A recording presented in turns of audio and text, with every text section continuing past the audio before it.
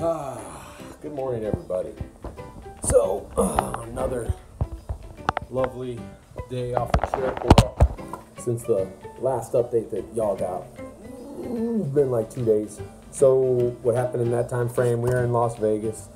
Uh, spent two days over there. It was just kind of hectic. We were visiting family friends, so didn't have a lot of time to to record or whatnot. Trying to just maximize our time with our friends down there on this wonderful road trip. So, right now we are in just outside of Albuquerque, New Mexico. Uh, today we should be on our second to last stop going over our friend's house. Uh, who should see more videos here soon? He's a good fishing buddy of mine, uh, good army buddy. but we're going to be going over their house and we're going to spend the night there. And then that's where we're going to do our crackdown on, on looking for, for homes and houses in the next area. So if you haven't done it yet, there's a couple different apps out there. I like to use Zillow myself. Um, and I will go on there and, you know, uh, research out, you know, what houses are available to rent or buy, depending if you want to do what. We, we personally are going to rent. So we're going to go down there. We've already looked a little bit. We're going to do like super, super hard homework. So we're going to go down there. Once we get to our friend's house, uh, after enjoying, you know, the day with them, we're going to do some real hardcore studying um, what type of house we want to get. And if you ever PCS before, it's highly suggested that you do that. You, you do your research on a house, do your research on the area. So what I do is we make a list of pros and cons, put down on a piece of paper. We also take into account the area. Uh, we'll Google the crime rates. We'll check out uh, the, the houses all on Google Earth so that way we can see the surroundings. Because a lot of times those pictures they post up, they look they look great. They look outstanding. And then you get there and it turns out to be garbage. So go use the tools that you have available to you when you're hunting for a new house. So Google Earth is amazing. Just pull it up, look on the map, you can see the surrounding areas. Uh, not to mention, like I said before, Google, once again, Google that crime rate. See what the crime rate's like down there, and usually, typically, right outside of a military town, the, the, the, the military area, the bases, towns aren't so great. Uh, they're usually not the best, so you want usually go a little bit further out. There are your exceptions, like the last place we stayed at. Uh, we were stationed at JBL in Washington. We lived in a city called DuPont. That place was great. It was only five minutes outside at one of the gates.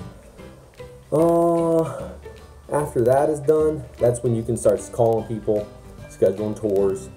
You can do those online virtual tours. We are a little old school. Um, and like to do the the, the, the actual see physically see the place know what we're getting ourselves into because like i said before they can do so many things with pictures nowadays that i don't trust it um, and yeah that's pretty much the gist of it so once you get to your final lo- location i do want to mention that if you don't have a place to stay like you don't have a buddy or anything like that what you can do is the army authorizes you to stay up to, I believe it's 10 days in a hotel uh, that they pay for. It's called uh, it's called uh, TLE, like temporary living expense. Uh, and they'll put you in the hotel, and you can stay in that hotel for up to 10 days. They'll reimburse you, but it does have to be within 50 miles of the base. I'm pretty sure 50 miles. Once again, always check with your local travel office because things do change over time. But within right now, 50 miles of base, uh, you can stay in that hotel for up to 10 days. Luckily, we have friends there, so we're going to stay with them. They just live uh, about an hour or two outside, which is fine for us. We're hoping we can find a place and get it that day. Sometimes it always doesn't work out like that, but hey, if it does, great.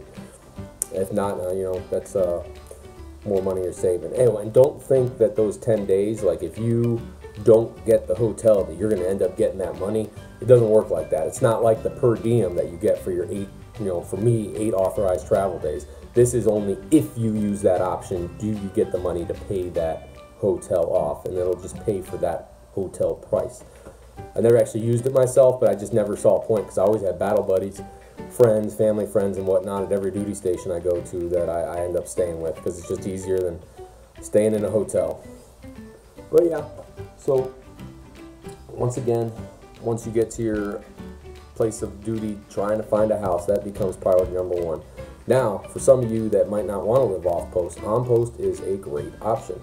On post, you can do just about just about anything. I mean, they cover utilities. Uh, they, they got usually parks, amenities, depending on what type of duty station. They might have pools, so they usually have gyms.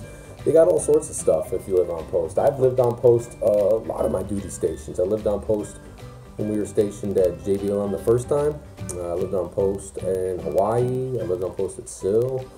Uh, I'm not living on post this time because I'm not sure how the housing is going to be at Fort Polk. I've, I've done my research and I've seen mixed reviews. Some are really good, some are really bad. It probably just depends on the housing that you get. You know, like every base, there's always newer housing and older housing. But you know, do the math. Me, I would like to live off post because the housing down there in Louisiana is a lot cheaper than most other places. So it, you can get a pretty decent place for not that expensive, as opposed to when I was in Hawaii. We lived on post because if you got a place off post the BAH just barely covered everything. Then you had to pay for your electricity, your water, your sewage, all all depending on where you live. But man, in Hawaii, that stuff added up and was expensive. I would rather just have lived on post over there where I can crank my AC as much as I want, use as much power, and not have to worry about paying that stuff off.